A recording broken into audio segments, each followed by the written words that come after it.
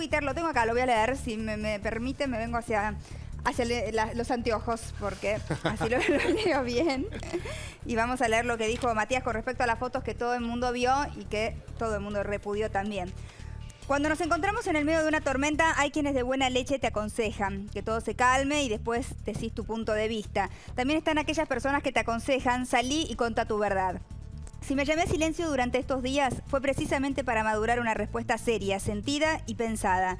Lo primero que quiero hacer es pedir disculpas a toda aquella persona que se haya sentido ofendida por las fotos que se viralizaron desde una cuenta de Twitter que está denunciada en la justicia en el marco de la causa por amenazas y violaciones sobre nuestra intimidad que data de agosto del 2015 y no de diciembre del 2015 como publicaron algunos medios.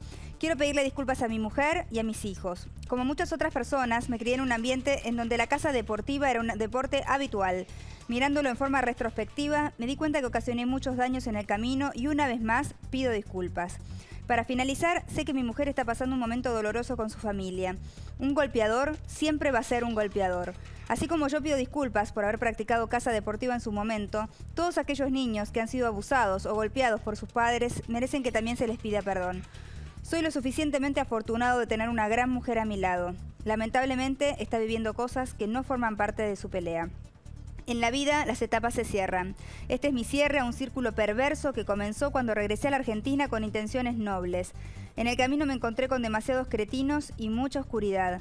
Ojalá este descargo no sea mal interpretado y ayude a darnos cuenta quiénes aquellos mafiosos, quiénes son, me, me parecen aquellos mafiosos que día a día tienen el poder de reinar nuestras vidas. Una vez más pido perdón por haber herido los sentimientos de todo aquel que respeta la vida animal. Aprendí. Hoy no soy el mismo de hace seis años. Hoy tengo otros valores y no lo volvería a hacer. Eso dijo Matías Garfunkel, dijo que se tomó su tiempo para decir